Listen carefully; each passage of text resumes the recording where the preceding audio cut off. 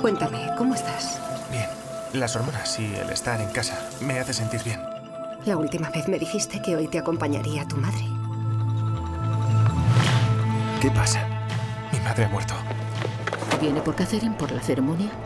Aparecer así delante de la familia y los amigos, vistiendo como un vulgar travesti. Mamá estaba de acuerdo. Me iba a acompañar. Quería estar conmigo. Te lo he dicho, no la dejaré. Tú decides. O te bajas. ¿A dónde? Al mar. La llevo al mar junto a su casa de la infancia. Ella me lo pidió. Así que ahora te haces llamar Lola. Qué elegante.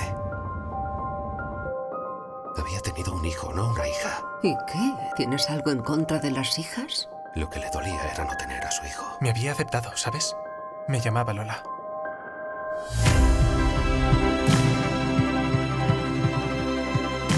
¿Mi princesa?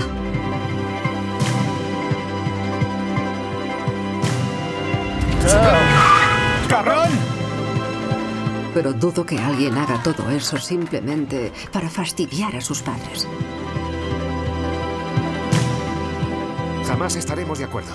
Tienes tu vida y yo la mía. Pero te pido una cosa. Acabar lo que vinimos a hacer. ¿De acuerdo?